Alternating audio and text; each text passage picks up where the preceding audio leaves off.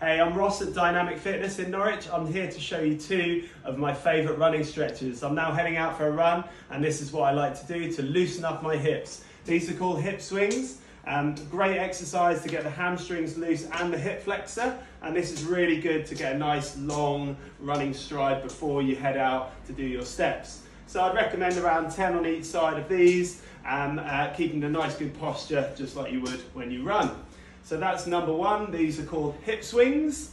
Um, stretch number two I like as well, just to loosen up my back and uh, also a little bit for the hamstrings and glutes, is a crossover stretch. So one leg um, out and then the other leg out. We're just rotating round one side to the other. This is really nice, loosening up that back, getting you feel limber, getting you feel loose and ready for a nice, safe run. Enjoy your run.